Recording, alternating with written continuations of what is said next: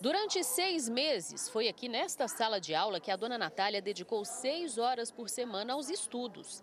Mais que isso, se dedicou à realização de um sonho, o de ler e escrever. A, E, I, O, U. E vejam só o resultado de todo o esforço. Aos 90 anos, Natália já escreve o próprio nome, aprendeu o alfabeto e já forma as primeiras frases. Eu achei a coisa mais boa do mundo até sonhar eu sonhava. A Natália conta que sempre quis aprender a ler e escrever, estudar, frequentar uma escola. Mas a família muito pobre, com seis filhos e que vivia no interior da Bahia, não teve acesso à educação. Além disso, ela conta que o próprio pai não via com bons olhos a ideia dos filhos frequentarem uma sala de aula. Meu pai disse que a gente ia aprender a escrever carta para rapaz. O namorado? É. E aí. Ele era ciumento. Ciumento. A senhorinha de cabelos de algodão tem uma história de vida marcada pela luta.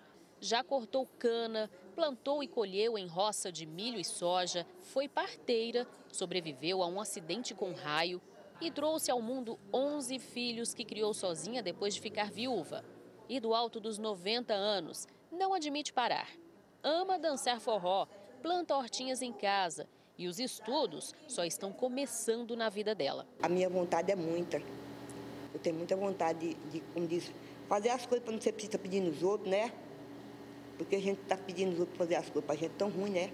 Natália faz parte da primeira turma do curso de Alfabetização e Família, oferecido para pessoas com mais de 60 anos pela Prefeitura de Senador Canedo. O curso é totalmente presencial e gratuito. Inclui livros didáticos e materiais escolares, como caderno, dicionário, tesoura, cola, lápis de cor e lápis de escrever. Todos os alunos dessa turma têm mais de 60 anos, a gente já esperava encontrar essa turma aqui unida, mas a dona Natália foi uma, uma preciosidade que a gente encontrou, com uma história de vida muito bonita e com esse estímulo que nos, nos alcança, também nos motiva e motivou a turma também. Valéria é a professora da turma, foi a primeira experiência dela com idosos e não poderia ter sido mais gratificante. Ela realmente não conheciam as letras. Porém, como ela tem essa habilidade com as mãos, né? Ela tem uma coordenação, uma destreza muito boa, ela aprendeu muito rápido. Eu fiquei muito impressionada, porque um mês de projeto a dona Natália já escreveu o nome dela.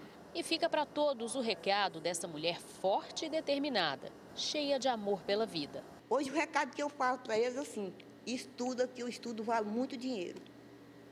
Não é mesmo? é um tesouro.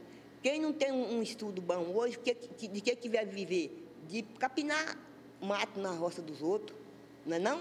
Se eu pudesse, eu pulava, eu gritava, mas a idade não dá, né?